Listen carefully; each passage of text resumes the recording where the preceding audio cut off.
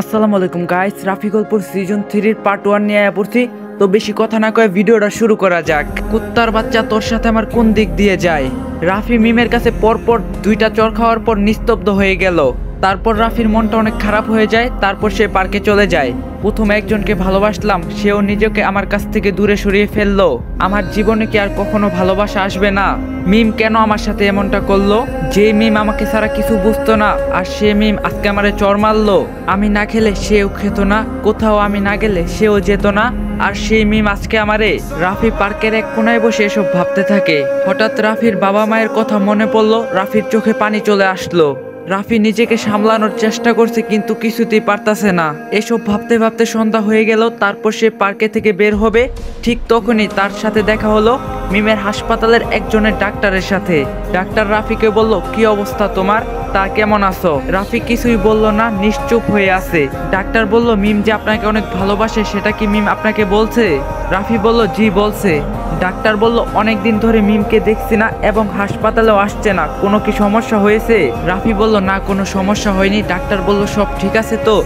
রাফি বলল, জি, সব ঠিক আছে। ডাক্তারটি বলল, এই, তোমাদের বিয়ে কবে হচ্ছে? রাফি বলল, জি, হবে খুব তাড়াতাড়ি। ডাক্তার বলল, বিয়ে হলে আমাকে কিন্তু দাওয়াত দিবে অবশ্যই। রাফি বলল, জি, দিব। রাফির মনে এখন কি চলছে তা সে হয়তো জানে না। তারপর গম্ভীর মুখ নিয়ে চলে আসলো পার্কের বাইরে।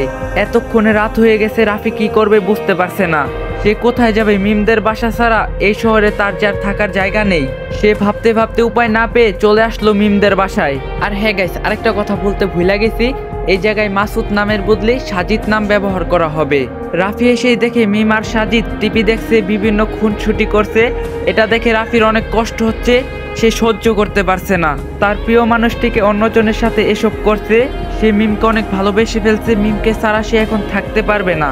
রাফি এসব সহ্য করতে না পেরে রুমে যাওয়ার চেষ্টা করল। যখনই রুমে যাবে, তখনই আবার ধাক্কা লাগল মিমের সাথে। মিম আবারও রাফির গালে চর মারলো। রাফি এসব দেখছে কিন্তু কিছুই বলতে পারছে না তার প্রিয় মানুষটি কেন এমন করছে। আগে তো ধাক্কা লাগলে এমন করতো না, বরং সে নিজে এসে রাফির সামনে ঘোরাঘুরি করত। রাফি আর কিছু না বলে সেখানে চুপচাপ দাঁড়িয়ে রইল। কিন্তু আজকে নয় এমন। তারপর রাফি আর কিছুই বলছে না কারণ সে তার মুখের বাসা হারিয়ে ফেলছে। এদিকে রাফির সাথে মিমের ধাক্কা লাগার কারণে মিম রাফিকে অপমান করেই যাচ্ছে। মিম রাফিকে বলছে ছোট লোকের বাচ্চা তোর কি চোখ নেই? তুই কি অন্ধ? এই কথা বলার সাথে সাথে রাফি বলল হুম আমি তো অন্ধ তোমার প্রেমে আমি অন্ধ হয়ে গিয়েছি। এই কথা শুনে যেন মিম আরও তেলে দেওয়া লুচির মতো ফুলে উঠছে। মিম তাকে যে কি করবে কিছুই বুঝতে পারছে না। রাফি তার কাছে এখন যেন বিষের মতো হয়ে গেছে। মিম রাফির এসব কথা শুনে সাজিদ এগিয়ে আসলো। আর রাফিকে বলতে লাগল, এই গরিব, তোকে কি, তোর কি কথা গায়ে লাগে না? মিম কি বলছে, তোর কি কানে যায় না? সাজিদ ও রাফির গালে দুইটা চর মেরে বলল, যা এখন এখান থেকে, এখনই। আর তোকে মিমের আশেপাশেও যেন না দেখি। তারপর রাফি তার রুমে চলে আসলো। এখন যেন তার রুমটা ফাঁকা ফাঁকা লাগছে। কারণ আগে তার রুমে মিম আসতো, অনেক কথা বলতো, আর এখন মিম আসে না। কি যেন ভাবতে ভাবতে রাফি হঠাৎ করে ঘুমিয়ে পড়ল। সকালে উঠে রাফি একটু হাঁটতে বের হলো তার মন খারাপের জন্য।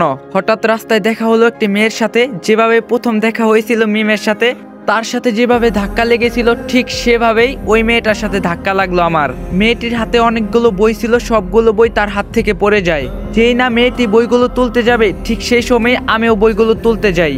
দুজনেই বইগুলো একসাথে তুলতে চাই দুজনের মাথা একসাথে বাড়ি খায় তখনই মেয়েটি বলে ওঠে, এই, কি করছেন? আপনি কি দেখেন না, নাকি? এই কথা বলে মেয়েটি সেখান থেকে চলে যায়। রাফিও আর কিছু না বলে সেখান থেকে চলে যায় বাসায়। সে বাসায় এসে দেখে, সাজিদ আজকেও জোর করছে মিমকে হোস্টেলে নিয়ে যাওয়ার জন্য। কিন্তু মিম যাবে না তা সোজা বলে দিয়েছে সাজিদকে। এতে সাজিদ বিরক্ত হয়ে ফোন করে তার ওই বখাটে বন্ধুগুলাকে। তারপর যা হলো। তারপর রাফিয়ার এসব সহ্য না করতে পেরে চলে আসলো তার রোমে তারপর সে ঠিক করল, সে বাসা থেকে চলে যাবে। কিন্তু সে তো মিমকে ভালোবাসে।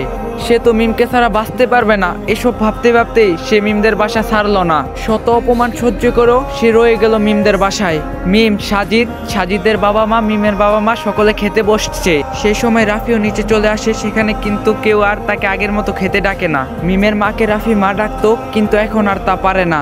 মিমও আর তাকে সহ্য করতে পারে না। সাজিদের মা বলতে লাগল, এই ছোট লোক এখনও কেন তোদের বাসায়? এত অপমানের পরও রাফি কিছু বলল না। মিমও নিশ্চুপ। মিমেরও যেন এসব কথা শুনতে ভালোই লাগছে। মিমের বাবা শুধু তাদের কথাই শুনে যাচ্ছে। এক পর্যায়ে মিমের বাবা সকলকে উদ্দেশ্য করে বলল, রাফি এখান থেকে কোথাও যাবে না, সে এখানেই থাকবে, এ বাড়িতেই থাকবে। মিমের বাবার মুখে এসব কথা শুনে সবাই যেন হতবম্ব হয়ে গেল। কিন্তু রাফি লক্ষ্য করে মিম তার বাবার এসব কথা শুনে যেন খুশি হচ্ছে। কিন্তু রাফি ভাবতে থাকে, সে খুশি হবে কেন? সে তো আমাকে সহ্যই করতে পারে না। তাহলে কি মিম আমাকে এখনও ভালোবাসে? যদি সে আমাকে ভালোবাসে, তাহলে এমন করছে কেন? কেন সে আমাকে এত কষ্ট দিচ্ছে? রাফি এসব ভাবতে ভাবতে তার রুমে চলে আসলো। রাতের খাবারটা আর খাওয়া হলো না। আসসালামু আলাইকুম গাইস ডিসক্রিপশন বক্সে একটা চ্যানেলের লিংক দেওয়া আছে। সবাই যে চ্যানেলটারে সাবস্ক্রাইব করে দিয়ে আসবেন, এই ভিডিওটা অনেক ছোট হয়ে গেছে। নেক্সট পার্টগুলো বড় বড় দেওয়ার চেষ্টা করব। তো চ্যানেলে যারা নতুন আছেন চ্যানেলটা অবশ্যই সাবস্ক্রাইব করে দিয়ে যাবেন আর ভিডিওটা বেশি বেশি করে শেয়ার করে দিবেন আর একটা লাইক দিয়ে যাবেন।